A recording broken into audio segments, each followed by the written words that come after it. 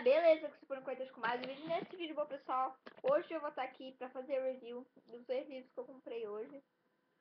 Desse fone do vídeo quebrado. Olha que decepção. Brincadeira, eu tô falando essas coisas pro vídeo ficar mais longo. Porque eu não vou falar nada. Tipo assim, isso acontece, isso, isso, isso. Eu achei isso do livro. Não, porque eu só li um, metade até agora. Então, pra aproveitar, mostrar o pacote de sete belo antes livros. É bom isso daqui. Só que eu não vou comer no vídeo. E... Tá, agora eu vou mostrar só a pontinha dos dois livros. Um é verde e um é azul. Você deu pra perceber, né? Quais são? Um acusa inocentes e o outro xinga o próprio autor do livro. Você entendeu? Vocês entenderam? Todos entenderam. Um deles é de, de um banana, ma, Maré de Azar. Isso, Maré de Azar. O oitavo livro da série. Deixa eu mostrar aqui direitinho, né? O oitavo livro da série escrita por Jeff Kinney. E só de você ver o nome Maré de Azar, já dá pra pensar que não, nossa, vai acontecer uma coisa muito ruim. É, é mais ou menos ruim até onde eu cheguei. Aí aqui tem uma mini. Ó, sinopse. Posso ler? Aqui explica os negócios. Do laranja por dentro. Não vou dar spoiler disso daqui, mas se você leu, você já sabe o que é. Pelo menos essa página. Aqui, como sempre, falando dos livros, opa, peraí, passados da série, de um lado e do outro ali. E os personagens que sempre aparecem, tá? A tradução da Alexandre Boyd. E aqui é sempre, né, tem, ai, não sei, pra, pra minha mãe, que passa. Um dia eu mostro o livrinho que eu fiz no terceiro ano. Já começa assim o livro. Ó. Nossa, mãe, que horror!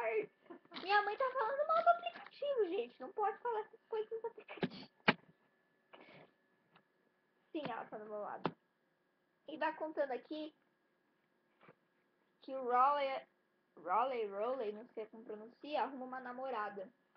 E nisso, ele vai deixando o Greg pra ficar com a namorada dele, que é a Abigail. Tem tudo uma continuação do livro do Segurando Vela. Então você tem que ler o Segurando Vela primeiro. Pra depois você ler esse daqui. Não adianta você comprar esse daqui, a gente vai entender como que ele namora. Depois que... Eu comprei tudo na ordem errada. Quando, quando eu quer comprar, eu preciso comprar todos os tipos que eu achar mais legal.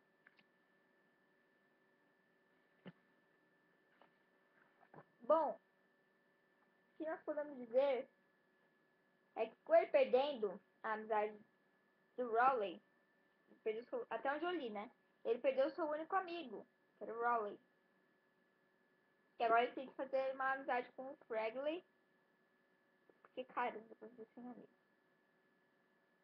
Até o vô dele tá namorando, menos dele. Essa é a minha situação de vida. Então é basicamente isso que eu posso falar, que ele tá tendo uma maré de azar enorme.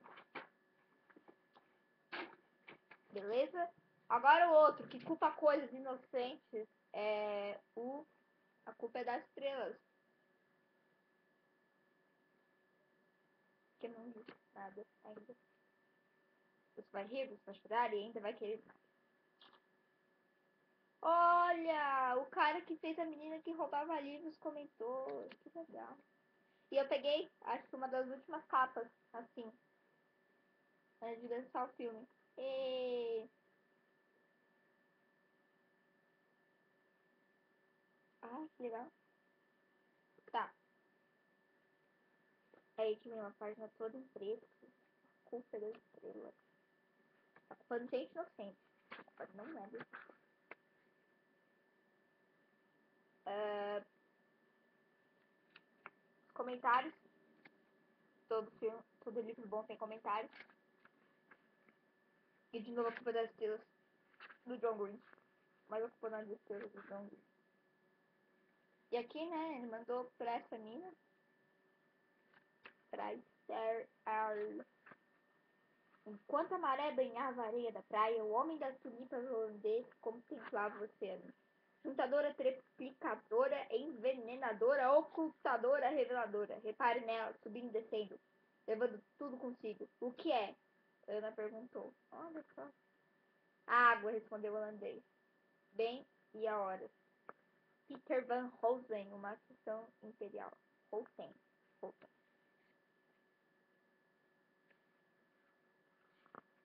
Aí vem a nota do autor. Eu vou ler, porque eu não falei nada, não tem que falar sobre esse livro, porque ainda não li.